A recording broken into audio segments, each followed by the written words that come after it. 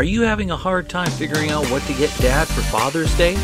Shop now at sportshistorynetwork.com slash row one and save 15% off your order when you check out Row One Brand's vintage sports pictorium gallery. They have America's best sports art.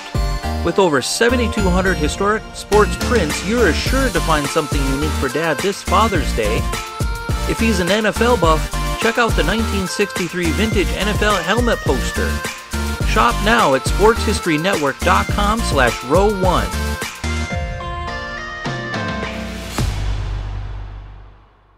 This podcast is part of the Sports History Network, your headquarters for the yesteryear of your favorite sport. You can learn more at sportshistorynetwork.com. Hello, sports fans, and welcome to another edition of Yesterday Sports on the Sports History Network.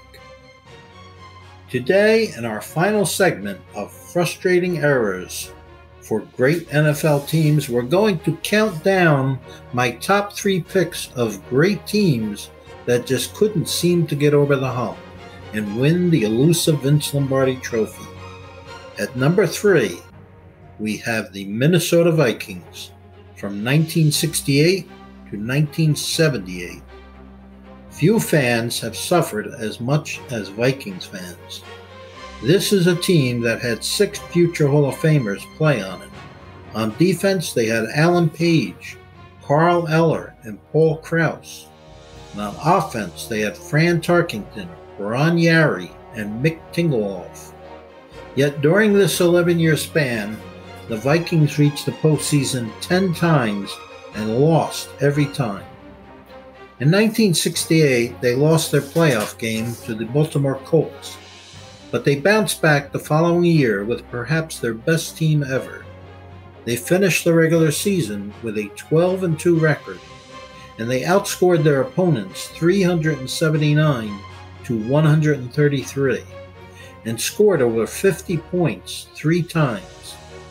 After defeating the Los Angeles Rams in the playoff game and the Browns in the NFL title game, they rode into the Super Bowl with an impressive 14 and 2 record. They were heavy favorites to defeat the AFL champion Kansas City Chiefs, but they lost 23 to 7. They went 12 and 2 again the following season but lost to the underdog San Francisco 49ers in the playoff game. The following season, they lost to the Dallas Cowboys in the playoffs. After an off year in 1972, they were back in the Super Bowl in 1973 with an impressive 14 2 record, but lost to the Miami Dolphins 24 7 in 1974, they were back in the Super Bowl again, but lost again, this time to the Pittsburgh Steelers 16 to 6. In 1975, they had another outstanding season. Some thought they might go undefeated after a 10 0 start, but they lost 3 of their next 5 games, including a stunning 17 14 loss to the Dallas Cowboys in the playoff game. In 1976, they again made it to the Super Bowl with a 13 2 and 1 record, but lost yet again, a 32 14 drubbing by the Oakland Raiders. In 1977, they made it to the NFC title game, but lost to the Cowboys 23 6. In 1978, they lost to the Rams in the playoff game, completing 11 years of frustration. At number two, we have the Los Angeles Rams from 1973 to 1980. Eight years in a row of making it to the postseason, only to lose every time. To make it worse, it was to the same two teams seven out of the eight times, losing to the Vikings three times and to the Cowboys four times. In 1973, after posting a 12 2 regular season record. They lost to the Cowboys in the playoffs. In 1974, they lost to the Vikings in the NFC title game. And in 1975, they once again made it to the NFC title game, boasting a 13 2 record. They were heavily favored to win, but instead were humiliated by the underdog Cowboys 37 7. In 1976, they were again defeated by the Vikings for their third NFC title loss in a row. In 1977, they lost to the Vikings in the playoffs. And in 1978, they were once again playing in the NFC title game, their fourth trip in five years. But once again, they were humiliated by the Cowboys, 28 to 0. The following year, they finally made it to the Super Bowl, but lost to the Pittsburgh Steelers 31 to 19. In 1980, they were once again defeated by the Cowboys in the wild card playoff game. The Rams did win the NFL title in 1945 as the Cleveland Rams. They won it again in 1951 as the Los Angeles Rams. And after many years of frustration, the Rams finally won the Vince Lombardi Trophy in 1999, but as the St. Louis Rams. We now go to the number one era of frustration the Oakland Raiders from 1967 to 1975. This team had nine future Hall of Fame players in spite of this, and in spite of having the best combined regular season record in the NFL during this nine year period, their postseason record was just seven wins and eight losses. In 1967, they went 13 and 1 in the regular season and then beat the Houston Oilers 40 to 7 to win the AFL title but they were no match for the NFL champion Green Bay Packers in the Super Bowl, losing 33 to 14. In 1968, they went 12 and 2 in the regular season and then beat up on the Kansas City Chiefs 41 to 6 in the playoffs, only to lose to the Jets in the AFL title game. In 1969, they went 12 wins, 1 loss, and 1 tie and then beat up on the Oilers in the playoffs, winning 56 to 7.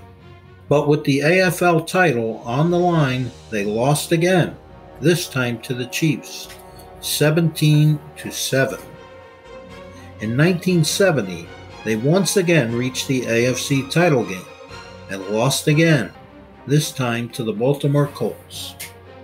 In 1971, they failed to reach the playoffs with an 8 4 and 2 record. In 1972, they went 10 3 and 1, but lost to the Steelers in the playoffs. In 1973, they got revenge by beating the Steelers in the playoffs, but were no match for the Dolphins in the AFC title game, losing 27 10. In 1974, they went 12 and 2 and then beat the defending Super Bowl champion Miami Dolphins in the playoffs. With Miami out of the way, Raiders fans were sure they would finally get back to the Super Bowl. But in the AFC title game, they lost once again. Steelers 24, Raiders 13. In 1975, they made it back to the AFC title game again, and again lost to the Steelers. It was the third time losing to the Steelers in four years, and their second time losing the AFC title game three years in a row. Raider fans began to lose hope. But in 1976, the Raiders beat the Steelers in the AFC title game and finally won their first Super Bowl. They would go on to win two more Super Bowls. That's it, folks. Hope you enjoyed the frustrating errors of great NFL teams. This podcast is part of the Sports History Network, your headquarters for the yesteryear of your favorite sport.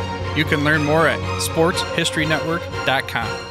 At the Sports History Network, we're all about sports yesteryear, and so we're so pleased to introduce you to Row One, an online memorabilia gallery and shop that brings your sports history to life anywhere. The Row One gallery includes over 5,200 gorgeously reproduced prints of team posters, game program covers, game tickets, advertisements, and more in baseball, pro and college football, pro and college basketball, and more. And any gallery item may be printed in a variety of sizes on wood, metal, canvas, acrylic, or poster paper.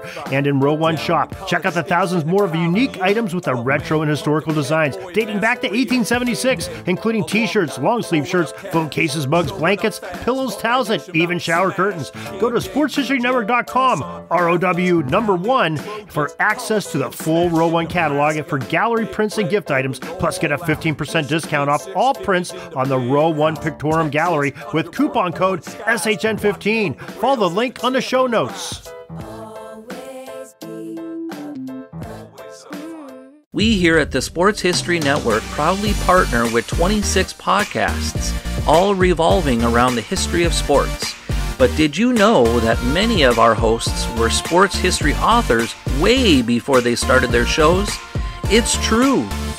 We've got Joe Ziemba, host of When Football Was Football, Joe Zagorski, host of Pro Football in the 1970s, Mark Morthier, host of Yesterday's Sports, Tommy Phillips, host of Lombardi Memories, and Scott Adamson, co host of From the 55 Yard Line. All these authors have many books for you to choose from. To check them out, go to our website at sportshistorynetwork.com slash sportshistorybooks. Pick up your copy today! Soundtrack provided by Kevin MacLeod of filmmusic.io.